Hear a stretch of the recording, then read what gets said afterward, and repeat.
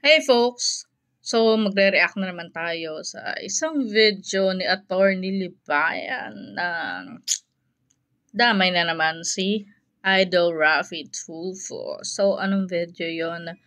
Ito ay uh, tungkol doon sa crypto moon trading scam ni John Erwin Castro. Allegedly. O, diba? May allegedly. Uh, ngayon lang ako nakakita, seryoso, ng video na 13 minutes yung Tulfo video. But then, yung reaction ni Attorney Libayan ay 30 minutes.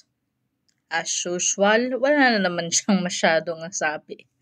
Diba? Kundi yung paulit-ulit na hatred niya sa crypto.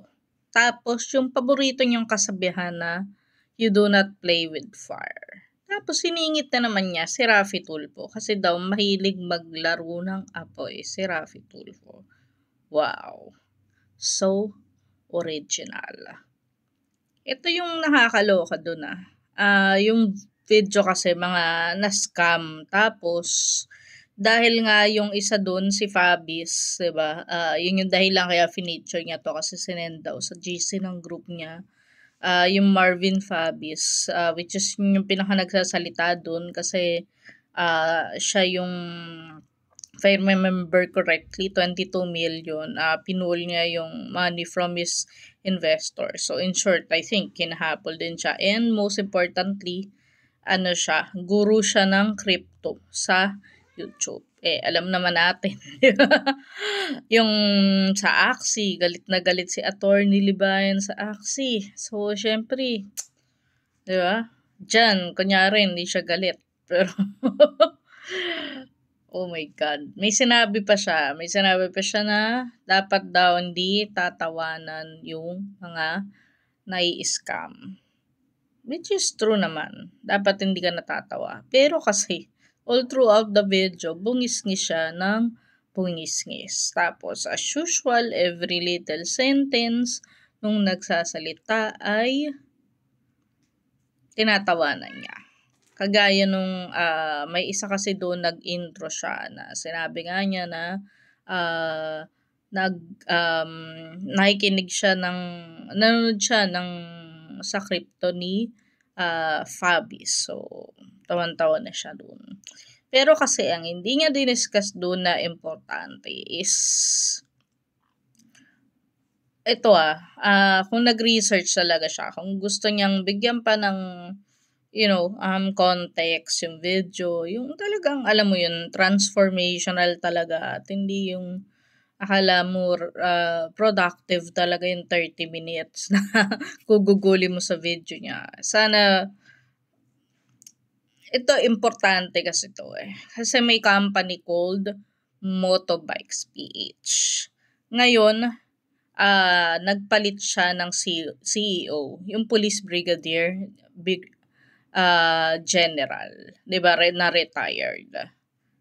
I think Fama yung pangalan, nanapin nyo na lang, uh, sa wall ni Kiana Reeves. Actually, hindi naman sila damay talaga directly. Kaya nga, tama naman agree ako sa sinabi ni Kiana Reeves na nagagalit siya. ba diba? Doon sa mga umatake sa wall niya. Pero kasi, yung Motobikes PH, uh, ah, ito, that remains to be seen. Kasi nga, hirap na hirap akong itong crypto moon kasi hindi siya yung basta mariresearch mo even John Erwin Castro para silang ghost. So yun yung context na sinasabi ko. Bakit siya importante? importante siya kasi nga parang bakit ganun? uh, normally makaka, 'di ba, yung mga natutulfo, nare-research yan eh, kahit yung mga ordinaryong tao na hindi naman talaga alam mo yun pala Facebook, nare-research ito wala parang ghost even the company eh. Wala ka mare-research yung crypto moon, wala. Tinry ko magganap eh. May onting post. So balik tayo uh, dati kasing CEO nung Motobikes PH, itong John Erwin Castro. So, yung mga tao, uh, base sa pagka-research ko, uh, parang kine-question nila na ito daw Motobikes PH, eh, related dun. Kasi nga, um, parang feeling nila yung money to na uh, na ginawa I mean yung money na, paano ba to? Ginamit para itaguyod ito motorbikes PH is, yun nga, yung money, uh, par- part no, yung money ng investors. Of course, that remains to be seen. So, wait nga, John Irwin Castro nawawala na. yun lang, con- context lang. Um, tapos, wala eh. Nakakaloka lang talaga. Di ba? Uh, sana diniscuss niya yung, yun nga, yung mga appropriate, uh, I mean, yung mga past cases, walang ganun eh. Ang diniscuss pa niya yung hedge fund manager na dinedebunk yung crypto. Which I agree, maganda naman talaga yung credentials yung sinasabing hedge fund manager ni uh, attorney Libayan. But, ang bottom line kasi nung video niya, parang kahit sinabi niya nga wag tawanan pag na-scam, parang, in a way, it's mocking those na na-scam. Which is, hindi lang siya, kasi ganun din yung sinabi ni Kayana eh, sa video niya kasi napiko na siya eh.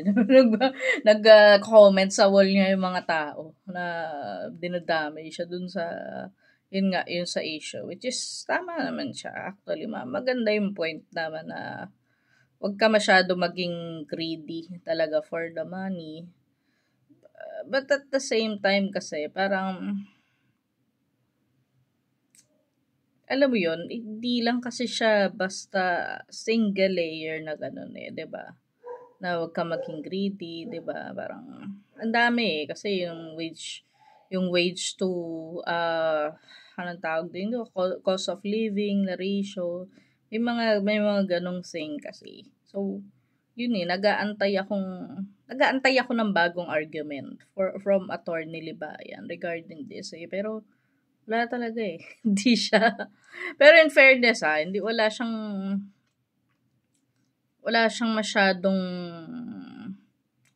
patama kay Rafi Tulfo.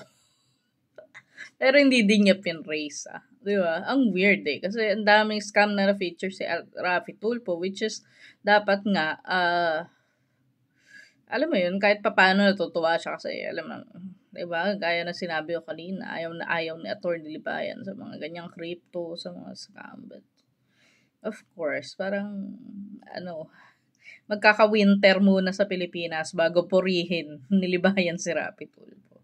So, yun lang.